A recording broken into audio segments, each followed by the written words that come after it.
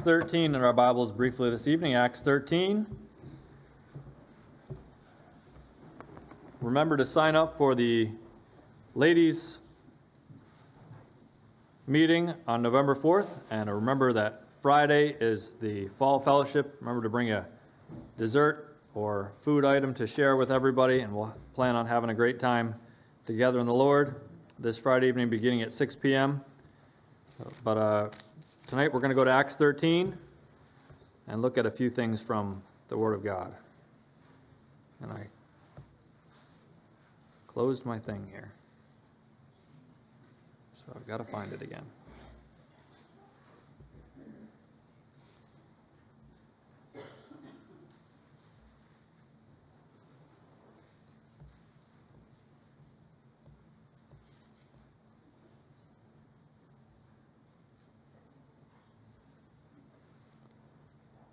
And there we go.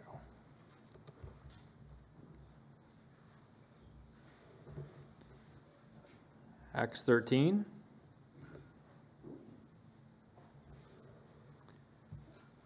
We're actually going to start reading in verse 12. Acts 12. Uh, I'm sorry, Acts 12. We'll start reading in chapter 12, verse 24, before chapter 13. Acts 12, verse 24. But the word of God grew and multiplied, and Barnabas and Saul returned from Jerusalem when they had fulfilled their ministry, and took with them John, whose surname was Mark. Now there were in the church that was at Antioch certain prophets and teachers, as Barnabas and Simeon that was called Niger, and Lucius of Cyrene, and Manaen, which had been brought up with Herod the Tetrarch, and Saul. As they ministered to the Lord and fasted, the Holy Ghost said, Separate me, Barnabas and Saul, for the work whereunto I have called them. When they had fasted and prayed, they laid their hands on them, and they sent them away. So they, being sent forth by the Holy Ghost, departed unto Seleucia, and from thence they sailed to Cyprus. Let us pray. Father, we thank you again for allowing us to be in your house this evening. I thank you for the request that you've granted us. We thank you for those who've been saved. We thank you for those who've been brought back to us uh, safely in their travels. We pray for those who will be traveling this week. We pray for uh, Sophia, and we pray that you'll give her uh, traveling mercies as she goes to India, and we pray you provide for her as she is there with the testing and different things that need to occur. We pray for Ginny. We thank you for how you brought her along, but we pray that you'll help her to be able to get an appointment this week for her knee. We pray for Lucette, who's going to have hernia surgery on Wednesday. We pray for those who have illness or pain in the body. We pray that you'd strengthen them tonight. We thank you for your word and how it gives us these things, provides these things for us, instructs us on how we ought to live for you. And we pray you'd help us to discern your will from your word tonight. We ask these things, Lord, in Jesus' name. Amen. All right, the title of the message this evening is Ministering Unto the Lord. Ministering Unto the Lord. Because this is what it says there in verse 2 As they ministered to the Lord and fasted, the Holy Ghost said, Separate me, Barnabas and Saul, for the work whereunto I have called them. And there's a lot of Christian people who say, Well, I feel called to do this, I feel called to, to do this, and I want to do that for the Lord. And maybe they ought to, maybe they ought not to try to do that thing for the Lord. But we have a desire to serve the Lord, and that's a good thing. That's a, a desire that we ought to have. We have some people who they, well, I feel like I want to be more connected and, and I want to be more of use in the church. I want to be active. That's a wonderful thing. And some Christians just need to know or want to know I'm doing right by my service in God's church. And all of those things are accomplished by this passage tonight. So I pray that if you are serving the Lord, if you are ministering to the Lord as Paul and Barnabas were, that you'll be encouraged to keep on doing that for the Lord tonight. And if you're lacking in your service for the Lord, I pray that you'll be stirred up to do more for the Lord. And if you're someone who is wondering if I should be doing this or that, I hope and pray that you'll get some direction from God tonight, or at least some direction on how to get some direction, which is where we'll look at tonight from this passage. Because Paul and Barnabas, Barnabas and Saul, in verse 25, were there where the word of God was growing and multiplying, and they returned from Jerusalem when they had fulfilled their ministry and took with them John, whose surname was Mark. Now, there were in the church that was at Antioch certain prophets and teachers, and then he gives this list of people. But the first thing you need, if you want to be a minister unto the Lord, you want to be someone who's serving the Lord, is you need to be a member of God's church.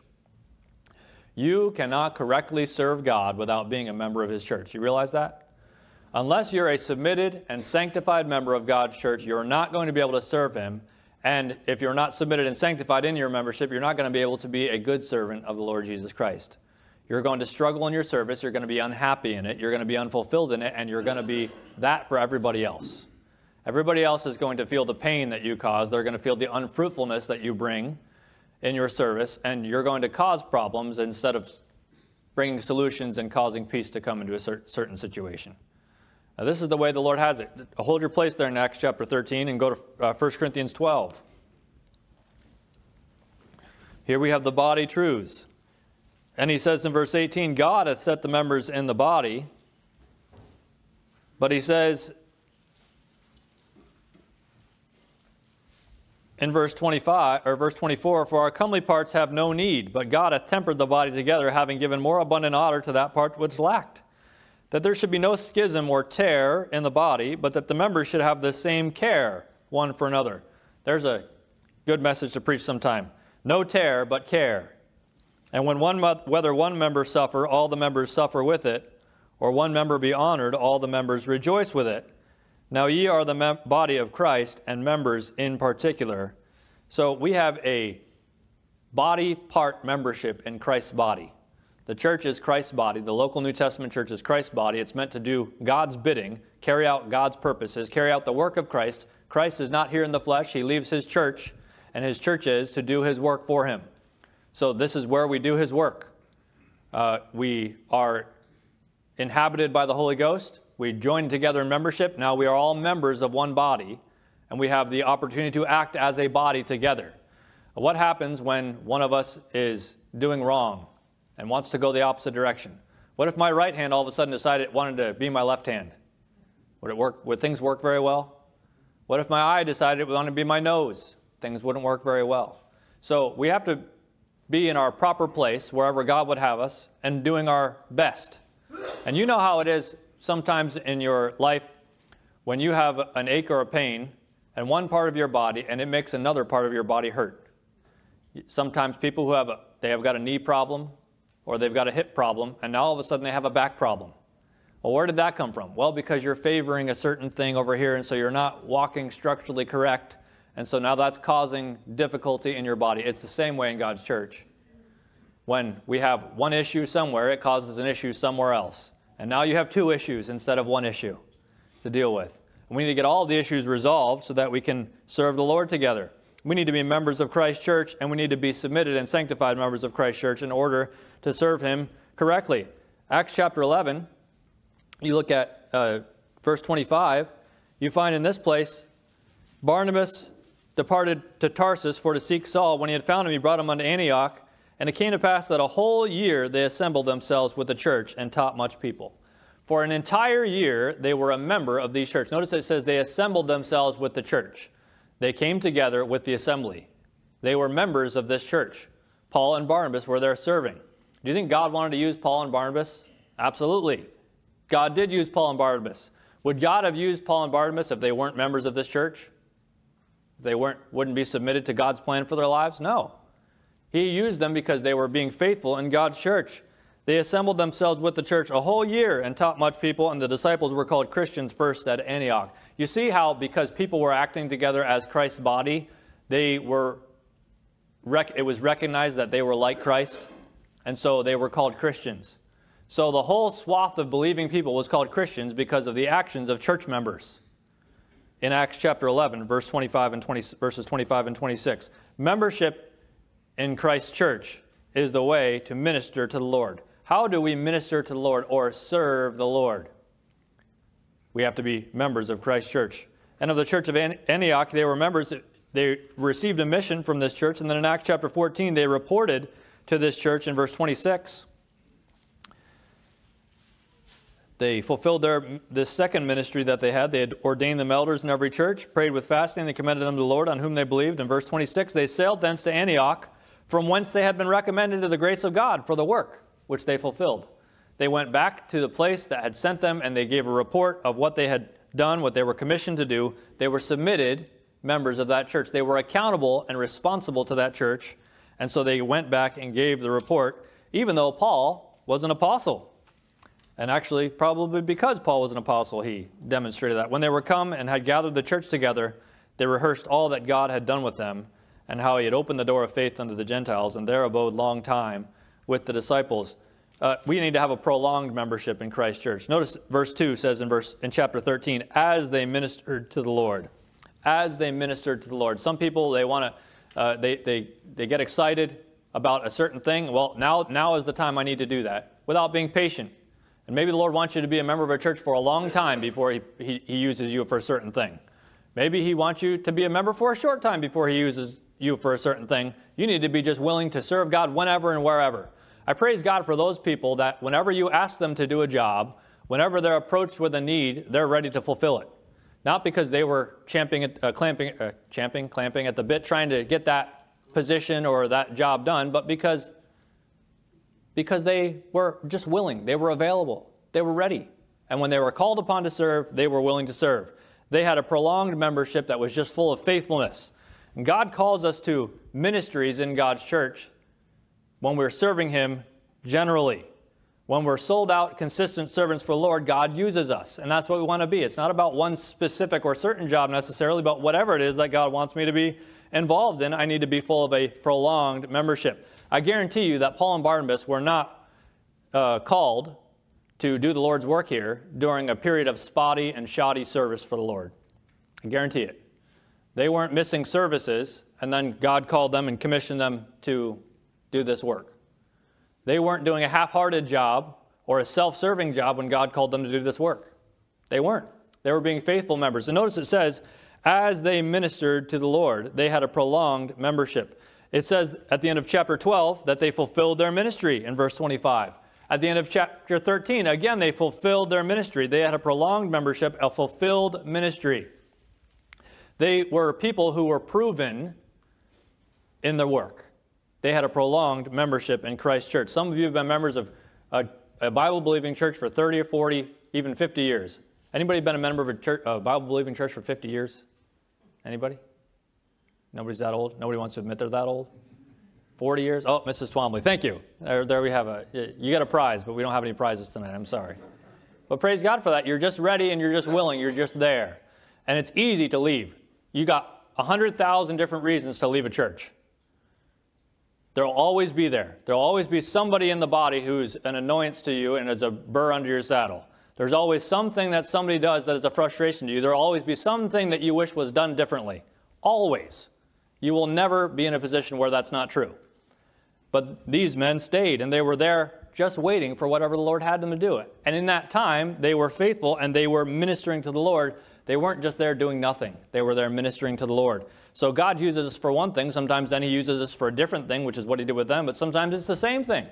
But are we there constantly ministering to the Lord, a prolonged membership, having a fulfilled ministry? By the way, over in Colossians 4, you don't have to turn there, but in Colossians 4, Paul had to challenge somebody who was, uh, whether he was not doing it or was just tempted not to do it, I'm not sure, but in Colossians chapter 4, verse 17, he said, Say to Archippus, Take heed to the ministry which thou hast received in the Lord, that thou fulfill it.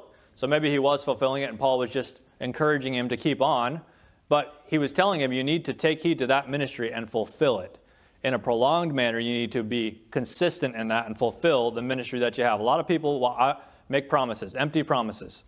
I'll do this. I'd love to do this. I want to serve the Lord this, in this way. But when it comes down to it, and a little bit of difficulties there, well, now they're not there. Okay, well, then you're probably not going to be able to be used by the Lord. You're not really ministering to the Lord. You're just seeing how everybody else can minister to you. And I can go through the church and I can name, well, this person's doing everything. This person's doing everything. And then I can name some others. Maybe they're not doing very much at all. Say, well, maybe he's talking about me. I, I, as God is my witness, I'm not really thinking of anybody, any specific people. But if I, if I took the membership list, I could say, what are they doing? And I could say, wow, look at, look at all they're doing.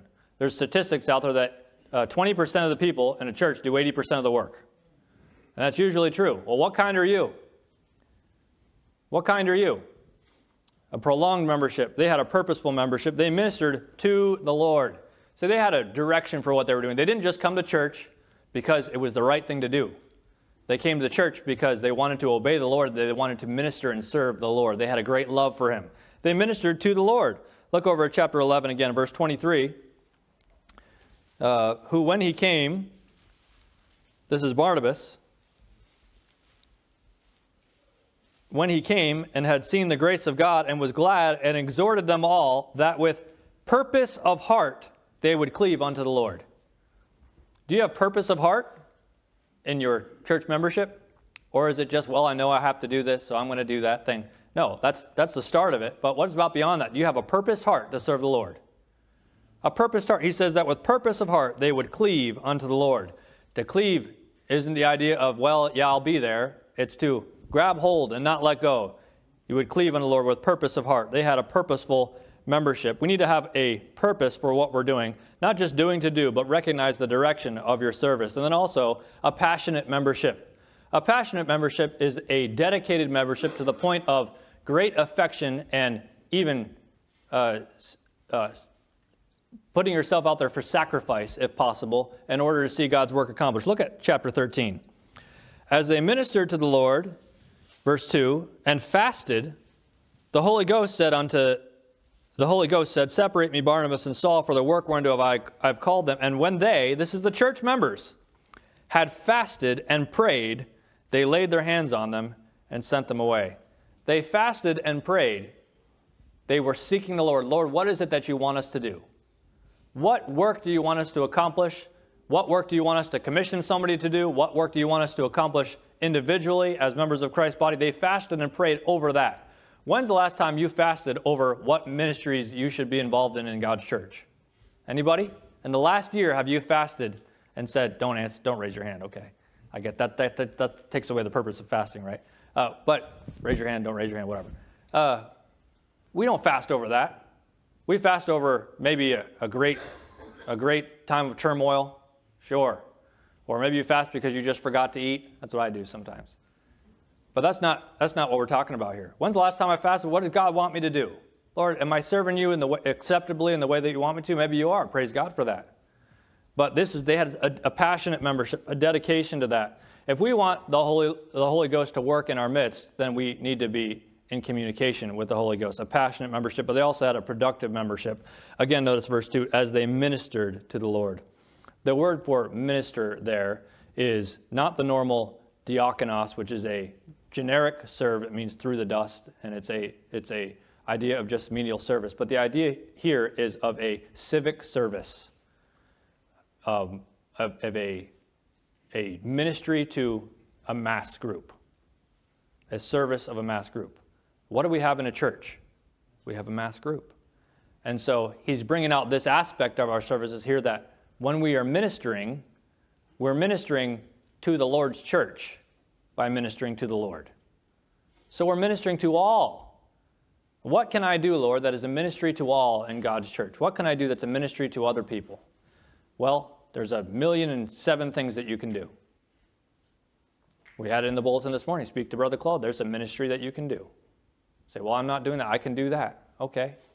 Well, I, I could help here. I can help here. I can pray more here. I can give out a gospel tract here. I can witness over here. I, these are things I can do. I can give an encouraging word over here. This is what I can do. I can minister to the Lord, minister to a church. They had a productive membership. Romans 12, all about the spiritual gifts, tells us about how we're there to serve the Lord. I beseech you, therefore, brethren, by the mercies of God, that ye present your bodies a living sacrifice. Lord, just use me. Here I am. I have this body that is the temple of the Holy Ghost. I have it to use for you. I have my voice to use. I have my heart to use. I have my hands to use. What do you want me to do for you? These things are yours. This is your body. And I want to use it in Christ's body to edify the church, to build it up. We need to be serving out of a sense of duty and out of a sense of honor in the Lord, a productive membership. This is what these men had. They had a, pro, a prolonged membership. They had a purposeful membership, they had a passionate membership, and they had a productive membership. And this is the way we need to be tonight. We should have an attitude of production for the Lord, being fruitful. I love that word fruitful because when we're fruitful, that means that things are healthy. That means that things are good. We have to always be guarding that some blight doesn't come in and hurt the tree. We have to be always be guarding that someone's not coming by with the weed whacker and killing these trees like we were doing out here uh, which Brother Brian helped us out with. See, he served. He benefited everybody by keeping the trees beautiful. Uh, we, we have uh, all, all of these opportunities to be infected or for a storm to come and blow us down. We have to be protected regarding these things in our lives all the time. So, while things are going great right now, well, maybe next week they won't be. What's going to happen next week? You get through one challenge, and Satan is sure to hurl one at you. He's sure to throw some fiery darts, and we better have the shield of faith up and ready to quench those as he brings them to us. We need to be careful as we come to our local church body that we don't have a universal church mindset. In other words, some people think, well, because I'm a Christian, I can do whatever I want, I can go wherever I want, I choose these things. I choose what church I go to, I choose what service I do for the Lord. It's my thing, it's my deal, it's my life. No, it's not. God sets the members in the church, everyone as hath pleased him. Where there is no universal body, the body of Christ is the local church. So we don't have this, we should not have this attitude, well, I can leave whenever I want to and I can come back if I want to. This is not God's way for us to behave. And it makes us unfruitful. Why? Because it makes us have this non committed attitude. And I don't have the best of the body at heart, I have the best of me at heart. Go back, going back to 1 Corinthians 12, we have all those body parts. Uh, what if my left hand just desires to protect itself? It doesn't want to lift all those heavy things. It doesn't want to uh, shield the eyes because it might get injured. So you know how your natural reflex is when something's coming at your eyes to go like this? That's you understand that? That's that's natural and your left hand is helping out your eyes or your right hand, whatever hand. Well, I don't want to be involved in that. What's going to be injured? My eyes are going to be injured. Which one is an easier one to heal? A cut on my hand or a sliced eyeball? Well, I, I don't want to help the right hand out here, so the right hand has to do all the work, or uh, all the difficult things. Well, that causes the body to suffer. Why? Because the left hand has his own interests at heart. And sometimes we can get like that. I have my own interests at heart. I have my own desires. I have my own way of thinking, and everybody else or the uh, isn't as important in my eyes. This is not the way God will have us be. We need to be careful about that. I find that some people, when it comes to churches, they use a church for what they can get out of it. If they have children, they perhaps use the church for music, or they use the church for an opportunity to serve, or they use the church for social endeavors. They use the church because they know that they're supposed to have a worshipful relationship with the Lord. But when it comes to accountability or the hard things, well, man, I have, a, I have things I need to do. Uh, I don't want to be involved in that. I'm going to bail on this situation. Oh, we have this coming up. This is more important than that. This is, uh, these are attitudes that we should not have, and I guarantee you, Paul and Barnabas did not have these attitudes, and neither did the members of this church at that time. They fasted and prayed over serving the Lord. Fasted and prayed over serving the Lord. So we need to be careful uh, regarding our attitude in Christ Church. We need to have productive membership in Christ Church. You ever heard that song, A Back Pew Baptist? I have a, a friend, his name is Dwight Smith from way back. He's an evangelist, and uh, he's a good man. But anyway, he sings this song. I don't know if he wrote it or if somebody else wrote it. I don't have the author's name, so if somebody wrote it, I'm sorry, I'm stealing their thing. But it goes like this I'm a back pew Baptist, don't you know? To the front, I just won't go, because people might expect me to do all the things I ought to do. Down in front, I might get stirred by the things that I've heard. And that's not good for me, you see. The back row pew is best for me. Okay, Grant, you're back there. Brother Tony, you're back there. Andy, yeah, okay. No, no, no. You get the point. Way back here, I'll sit and rest where I don't have to do my best. My life may not be in accord because I'm a back pew Baptist for my Lord. The preacher's singing way up there. I can't hear, but I don't care. There's more important things to do with others in this back row pew. When the preacher does his stuff, very soon I've had enough. And then I sit back and meditate on things that I appreciate. Now, someday at the front I'll be, there for everyone to see. That is, when at last I've come to die, and in the casket I will lie. Then to heaven I'll surely go, for I'm saved by grace, you know. And when I get there, I shall see a back row pew in heaven for me. This is the way it'll be. If we don't have a, a front row seat in the service of the Lord now, we're going to lose the reward of the Lord later. This is a way that we can be challenged to serve the Lord. Also, not only were they members in God's church, but they received a mission from God. And each one of us has a mission from God to do what God has for us in His church. Verse 2 As they ministered to the Lord and fasted, the Holy Ghost said, Separate me, Barnabas and Saul, for the work whereunto I have called them. So, God has a work for you to do. Maybe it's a work like Paul and Barnabas, or maybe it's a work that nobody ever knows about. But it's still a work for God, and God has it for you. It's God's work for you.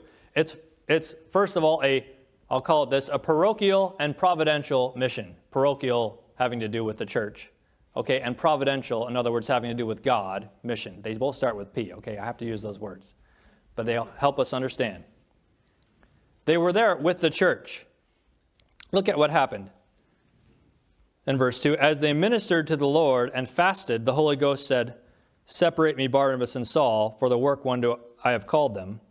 And when they had fasted and prayed and laid their hands on them, they sent them away. So they, being sent forth by the Holy Ghost. All right, go to chapter 14, verse 26. From thence they sailed to Antioch, from, thence, from whence they had been recommended to the grace of God for the work which they fulfilled. When they came, were come together and gathered the church together, they rehearsed all that God had done with them and how he had opened the door of faith unto the Gentiles. So in verse 26, who did the work? The answer is Paul and Barnabas.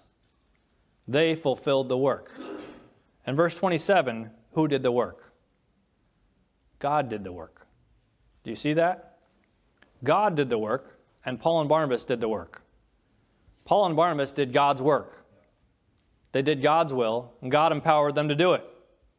Perhaps when they thought they didn't. But that goes back to something that's special. Go back to Acts chapter 13, and we'll read verses 2 and 3 again, and the beginning of verse 4. As they ministered to the Lord and fasted, the Holy Ghost said, Separate me, Barnabas and Saul, for the work whereunto I have called them. So who said, Separate me? And who called these men? The Lord did, the Holy Ghost did. Verse 3 And when they had fasted and prayed, they laid their hands on them, and laid their hands on them, they sent them away. Who sent them? The church sent them. So did the Holy Ghost send them? Because verse 4 says, So they being sent forth by the Holy Ghost. Did the Holy Ghost, did the Lord send them, or did the church send them? Yes. Brother, Brother Jim got it. Yes. Just like the work was done by the men and by the Lord, so the church sent them, and so the Holy Ghost sent them. Do you see, when the Lord gives us work to do and we do it for Him in His way and by His strength, we're doing His work. And it doesn't matter what work it is. We don't hear what the church members continued to do after Paul and Barnabas left, but could Paul and Barnabas have gone and done that work without the church there behind them serving the Lord? Would the Holy Ghost have been able to say, Separate me, Barnabas and Saul, if they hadn't been fasting and praying regarding their service for the Lord? See how the Lord directs His church? How will I know what God wants me to do? Well, we might have an aspiration to do a certain thing. God may put it on our heart, I would like to do that. Now, not everything that God puts on your heart that you would like to do is the thing that God wants you to do. Okay? There's a lot of things I would like to do. I would like to, uh, to uh, plant 50 churches in my life. Man, wouldn't that be great? God probably doesn't have that for me to do personally. There are some things that I would like to do that maybe it's not best for me to get involved in. But often, so not always, but often, God gives us a desire to do something. Maybe it's just a desire to do something. I want to do something for the Lord. Maybe it's a desire to do a specific thing. I want to do a specific thing for the Lord. And that might begin the Lord's directing in your life. In 1 Corinthians 12, he says, Covet earnestly the best gifts or the opportunities to serve the Lord in those ways. And he says, covet earnestly. In other words, have a desire to do that. Have a desire for these productive things. 1 Timothy 3, regarding the office of a bishop, he said, if a man desire the office of a bishop, he desireth a good work. So we have a lot of good, we can have a good desire in our lives, and maybe that's an indication of God's desire for you to do a certain work in his church. So this isn't to say if you want it, you got it, but it says that's good. It's a good thing to have a desire to serve the Lord. I know uh, some, some who say, well, God told me to do this. Well, did he? I don't know. You say that, but that kind of goes against his word here, so I don't think that that's right. Or we didn't ask you to do that, or you're out of line in doing that, so just because you aspire to do it doesn't mean it's good. But often, God lays on our heart to do something for somebody. Often, God lays on our heart, I want to get involved in certain part of ministry here. Is that, could that be from the Lord? It sure could. The Lord could be laying that on your heart. But also, how about recognition? In Acts chapter 18, it was Priscilla and Aquila who recognized the man Apollos. You don't have to turn there. They recognized the ability and the use, uh, God's use of Apollos. And so they nurtured him and brought him along to the point where he could help others. See that how they recognized that in his life? Paul and Barnabas recognized John Mark, Silas, Timothy, and Titus, among many others. They were all recognized by leaders in God's church who said, hey, maybe God wants you to do this. And that was a confirmation of God's working in their lives to do whatever it was. To do whatever it was. Not only aspiration, recognition, but lastly, authorization. Paul told Titus, You ordain elders. He laid hands on Timothy. Paul said, These things I've committed unto thee, son Timothy, in 1 Timothy chapter 1. And so there's going to be an authorization for you to do that. You're going to receive an instruction. Okay? This is something you ought to do. This is something you ought not to do. This is something you ought to do, but you ought to do it this way instead. We have an authorization from the Lord to serve Him. These are things that God brings. He brings sometimes a desire, an aspiration. He brings a recognition. Somebody says, Yes, you, you could be good at that. Um, uh, no one's going to ask, uh, I'm trying to think, sing. Well, here, here's a good for instance. Brother Chad teaches music in the, in the school. It's kind of natural for us to assume, hey, maybe he would be involved in music in God's church, right? We would recognize that skill and that ability in his life. Brother David plays the piano. I might recognize, hey, maybe you ought to play the piano for the choir, you know? You have that skill. Or Terry, you know, who just there's just one aspect of ministry, one aspect of things that we do in our church. Some people are good at cooking. Well, maybe you should be involved in this part of it. Some people are, are real involved in details. Hey, help us schedule this thing or, or plan this out. Hey, uh, what, you know, whatever it is. We have different aptitudes, and those things are recognized, but then also authorized. Just because you're good at something doesn't mean you should be the one to do it. Uh, I like to think that I'm good at everything. That doesn't mean I should do everything. Sometimes I have to let somebody else do something and they do it better than me. Or maybe they don't do it as good as me, but I still, it wasn't my place to do it. And the same goes for you. Sometimes just let somebody else do it. Let them fulfill that ministry. Let them do it in their way. You don't have to change the way they're doing it. They're doing fine. Uh, this was difficult for me. I, I, probably, if you went back and talked to the people at, at a community where I came from, uh, they, I, I, don't know what their perspective is. I can just tell you from my perspective of myself from years ago. The first, uh, I, this might have been 20, 2010, maybe 2011, right, in, right around there. We did a big drama, and I directed the drama. Well, I was so stressed out, and all the details that had to go into it, and and uh, it was a big, it was a big production. A lot of people, a lot of lights and sound and cues and all of these things, just a lot of things going on. And I was so stressed out about it, and I wanted everything to go perfect. Guess what? It didn't go perfect. And but everything I was I would get myself overly frustrated because so and so didn't do their thing at the right time. And I over time, not because I was spiritual, but because I had to do it a number of times, I started to realize what things were important and what things no. You're not the one to do everything, and sometimes they can do it better. Let them do it their way. Uh, sometimes uh, that's not possible, but when we can, let's recognize, let someone else do it. But Am I the one who's been asked to do it? Am I the one that's been separated out to do it? Now I'm authorized. I ought to be doing that. And I ought to be like Archippus, who Paul said, tell him to take heed to his ministry that he fulfills it and does a good job with it. This is what we need to be. All right? This is uh, perhaps how we know it was a parochial and providential mission, but it was also a partitioned mission. Notice the Lord said in Acts chapter 13, Separate me, Barnabas and Saul, uh, Barnabas and Paul, for the work which I have called them. Uh, Barnabas and Saul, yeah, not Paul. Barnabas and Saul, for the work whereunto I have called them. So they weren't separated out of the church, but they were separated to do that thing. Okay, they had a specific mission. Sometimes that's the way it is. Hey, I would like you to do this. You and you and you, you need to do this. Or there's a need that needs to be met, and these three people over here band together to do this thing that the Lord has laid on their heart. They're separated to do these things. Notice, look at uh, verse 2. Here, here you have a bunch of men. There were prophets and teachers Barnabas, Simeon, that was called Niger, Lucius of Cyrene, Manaen, which had brought up with Herod the Tetrarch, and Saul. So you have these guys here you have five, five names listed. You have Paul, you have Barnabas, you have Manaen, you have Lucius, and you have Simeon. Which five of those were better If you could pick two of those five, which two would you pick? Well, that's not what the Lord did. It wasn't that one of them is better than the other ones. God said, They're all here fasting and praying, but I have a job for two of them to do. We can't all do the same job. God has a different job for some of us to do. And so he sent Paul and he sent Saul and Barnabas to do that work.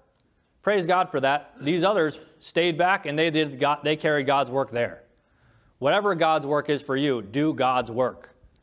And he'll take care of the rest. It was a partition mission, but was also a particular mission. Paul always went to the synagogue first, seems like. Paul went to the synagogue first because he looked like a Jew, he talked like a Jew, he acted like a Jew, and he thought like a Jew, and he knew all the things that Jews know. And he had a great love for the, Jew, for the Jews because they were his people. So even though Paul was the apostle to the Gentile, often he went to the synagogues first when he came to a city. Why did he do that? He had an aptitude, aptitude to do that. That was also the place where uh, God fearing people would meet. But he had an aptitude in those things. You have aptitudes that God has given you. You've, you have certain experiences that God has given you. You have certain knowledge and ability that God has given you that He hasn't given to somebody else. You have certain connections with people that I don't have and that nobody else in this church has. God's given you those things. Use them for the Lord. Allow the Lord to use that in your life. It was a particular mission. There's somebody that you can minister to, and there's a way that you can minister that nobody else can because of the way God has worked in your life. But it was also a protested mission, and this is what we need to know tonight. It was a protested mission. And every time we decide, I'm going to serve the Lord, it's going to be protested. You're going to find opposition to serving the Lord. Notice what happened. There's going to be blessings and there's going to be struggles. Blessings and struggles, blessings and struggles all the way uh, along. Look at chapter 13. Here they went out. What happens right away? Verse 8 Elymas the sorcerer, for so his name is, by interp- is his name by interpretation, withstood them, seeking to turn away the deputy from the faith. So you have this man who's, they're trying to lead him to the Lord. In verse 7, Sergius Paulus, a prudent man who called Barnabas and Saul and desired to hear the word of God. And Elymas the sorcerer is over there trying to cast doubt on what Paul and uh, Saul and Silas are, uh, Saul and Barnabas are saying. He's trying to cast doubt on it. He's trying to turn him away from the Lord. They're facing opposition but they also faced they also saw blessing. Look at verse 12. Then the deputy, Sergius Paulus, when he saw what was done, believed, being astonished at the doctrine, the teaching of the Lord. So you have a struggle, you have opposition, but you have blessing when you serve the Lord. They could have thrown up their hands when they faced that opposition and said, "You know what? We'll come back another time. This is not. This isn't. Uh, this isn't working. We got this opposition here. We can't. Nobody can hear what's going on. This guy's casting doubt on everything. No, we're going to serve the Lord." And God brought a a, uh, a sign there by making him blind. Immediately on Elymas there fell on him a mist and a darkness, and he went about seeking some to lead him by the hand. Well, that'd be nice if I could do that to the naysayers you're going to have to be blind for a while, you know. Uh, but we're going to have trouble, but we're going to have blessing. Look at verse 13. Now Paul and his company loosed from Paphos, they came to Perga and Pamphylia, and John, John Mark, departing from them, returned to Jerusalem. Oh boy. Is this going to happen in our church life? Are some going to depart from us and go back to another place? They don't want to serve the Lord in this way? Yeah, that's going to happen. John, John Mark left them. We're going to see that. That's discouraging when that happens. It causes, it causes uh, unsettledness in our lives when that happens. And it, it's sad when that happens. The relationships that we have change. It's a sad thing. Praise God for John Mark. He got brought back again. But it's a sad thing. They face opposition. When you try to serve the Lord, you're going to face opposition. Later on, Paul was able to say, Bring John Mark, for he's profitable for me for the ministry. Many at Antioch of Pisidia were saved in verses 2 and 40, verses 42 and 43, and also verse 48. But then they had persecution from the Jews. Look at verse 44. The next Sabbath day came almost the whole city together to hear the word of God. But when the Jews saw the multitudes, they were filled with envy and spake against those things which were spoken by Paul, contradicting and blaspheming. They had persecution that was brought into their lives and into their ministry. But many of these were saved, verse 48. Many of these were saved. The disciples were full of joy, but look at verse 50. But the Jews stirred up the devout and honorable women and the chief men of the city and raised persecution against Paul and Barnabas and expelled them out of their coasts. They drove them out. Think that was discouraging? Well, we thought God was working here. We saw people be saved. We can't even stay and help these people grow. We're kicked out. They expelled them out of their, co- out of their, co- out of their coasts. Now they went to Iconium. And this is what happened. They shook off the dust of their feet against them and came into Iconium. But at Iconium, they had trouble also. Uh, in Lystra, look at chapter 14, verse 20. That's where, that's where I mean to be. And these uh, persecutors, these people of opposition were chasing them around. Verse 19 There came thither certain Jews from Antioch and Iconium who pers- persuaded the people, and having stoned Paul, drew him out of the city, supposing he had been dead. Well, that's discouraging. I had never been stoned. Hope I won't, I hope I won't ever be. But these people chased him. They wouldn't even leave him alone. He's just trying to do the Lord's work, and they're chasing him from place to place, from city to city. Howbeit, as the disciples stood round about him, he rose up and came into the city, and the next day he departed with Barnabas to Derbe. They left for Derbe. They had a protest mission. If you're going to serve the Lord, you're going to have a protest mission. I don't care how menial or small your service is for God, you're going to face opposition. Uh, Satan doesn't like it when we serve the Lord, when we minister to the Lord. Our flesh doesn't like ministering to the Lord. Uh, a lot of pe- other people perhaps don't like it when we minister to the Lord. We're going to have a protest mission, but if we serve the Lord in the right way, we're going to have a prosperous mission. We're going to have a prosperous mission. Look at the end of chapter 14, verse 21. When they had preached the gospel to that city and had taught many, they returned again to Lystra and to Iconium and to Antioch. Antioch. See how they're going back to these places? And what were they able to do? They were able there to confirm the souls of the disciples and exhort them to continue in the faith, and that we must through much tribulation enter into the kingdom of God. See, they didn't have rose tinted glasses when it came to their service for the Lord. They said, We're going to have a much tribulation, but stick with it, stay with the Lord. And they were able to confirm the souls of the disciples. That's fruitfulness, that's productive ministry.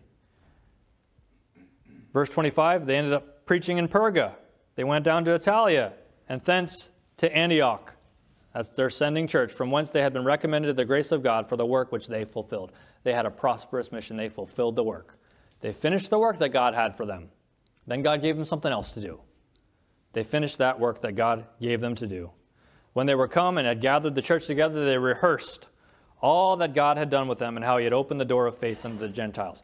You know what you can do after you live a life of faithfulness, even five years, 10 years, 15 years, 20 years, and it just gets better after that. Faithfulness to the Lord. You'll have a lot of trials, a lot of opposition in your life, but you know what you can now start saying? You can start to now rehearse. Rehearse what God did in your life.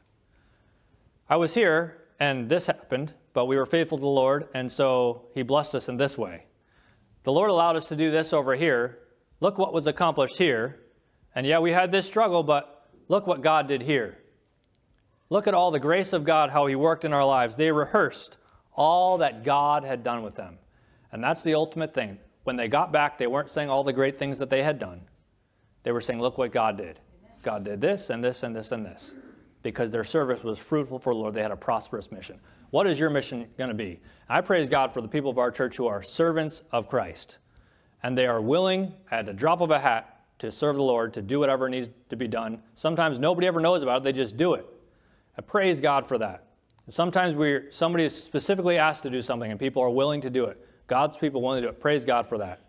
Is there something lacking in my life? I need to change the way I think about something. Well, then may the Lord work that in your heart. But if you're serving the Lord, I pray that God encourages you with these thoughts. This is God's work. You're doing God's work. You're doing it for Him. You're doing it in His strength. The Holy Spirit of God has led you to do it. You've been asked to do it, or you've been uh, uh, authorized to do it. You're serving the Lord. Stick with it, even if it's difficult. One day you'll, you'll be able to rehearse all that God has done in your life. Let's pray. Father, again, we thank you for uh, allowing us to look into your word tonight. I thank you for these men, uh, these five that we have record of, but the whole church that was there that fasted and prayed over their service for you. I pray that you'd help us to have that heart, that we're just willing to serve you and willing to minister to the Lord. Help us to have that attitude for you, that our lives are not for ourselves or for our own enjoyment, but that we are ministering to you, to you. So, Lord, we thank you for your word and we thank you for the testimony of these men. We pray that you'd help it to impact our hearts tonight. And we ask these things in Jesus' name. Amen.